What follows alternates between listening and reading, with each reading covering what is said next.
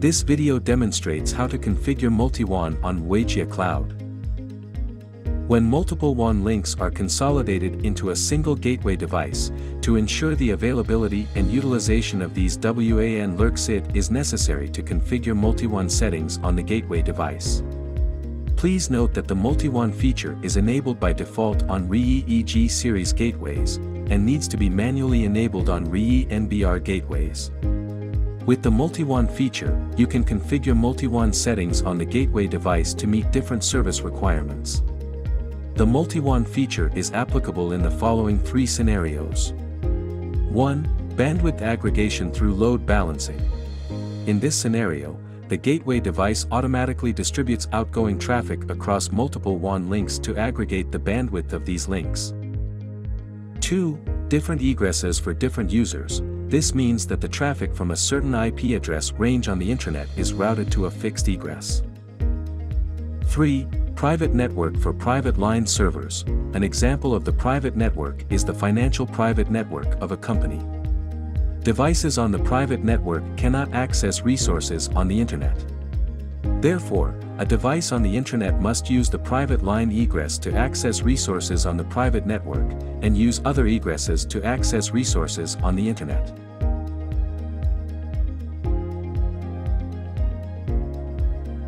Log into Ruijie Cloud, select a project, and choose Configuration Network-Wide Network Multi-WAN. After you access the configuration page, all gateway egress links are displayed by default.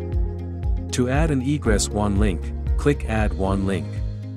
You can select a WAN interface or a LAN WAN interface, select a networking mode for the WAN interface as required, and click Save. Please note that for the private network for private line server scenario, the connection type must be static IP, and the WAN link must be set to a private line.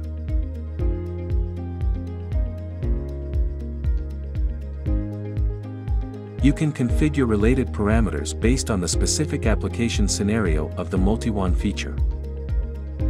In the bandwidth aggregation scenario, you are advised to click Weight and set the load balancing policy to maximize network bandwidth utilization. Ruijie Cloud supports the following four load balancing policies. Based on connections, packets with the same source IP address, destination IP address, source port, destination port, and protocol are routed over the same link. Based on SRC IP address, the traffic from the same user will be routed to the same port. Based on SRC and DEST IP address, the traffic of the same source IP address and destination IP address will be routed to the same port. Smart load balancing, the traffic is routed over multiple links based on the link bandwidth, the actual loads of the links, application recognition and traffic prediction. When load mode is set to loading balancing, the traffic will be distributed across multiple links according to the weight of each WAN interface. When load balancing policy is not set to smart load balancing, you need to set the weight for each WAN interface. Assuming the weights for WAN, WAN 1, WAN 2, and WAN 3 are set to 4, 3, 2, and 1 respectively, the interfaces will forward 40%, 30%, 20%, and 10% of all traffic, respectively. When load balancing policy is set to smart load balancing, configure the uplink and downlink bandwidth limits for each WAN interface. When load mode is set to active backup, configure each WAN interface as either the primary or secondary interface. All traffic is routed over the primary interface. Once the primary interface fails, traffic will be switched over to the secondary interface. Note, at least one secondary interface must be configured. When load balancing policy is not set to smart load balancing, and there are multiple primary or secondary interfaces, the weight of these interfaces must be set. When load balancing policy is set to smart load balancing, configure the uplink and downlink bandwidth limits for each WAN interface. Click Save.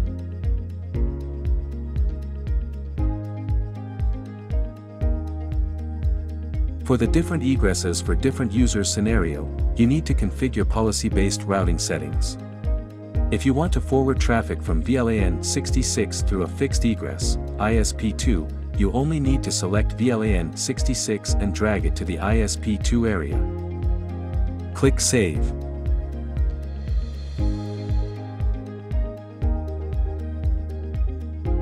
For the private network for private line server scenario, you are advised to config private line. Click Add Private Network Address in the private network area and enter an IP address or IP address segment for the private network. Click Add Private Network to configure more private networks. Click OK.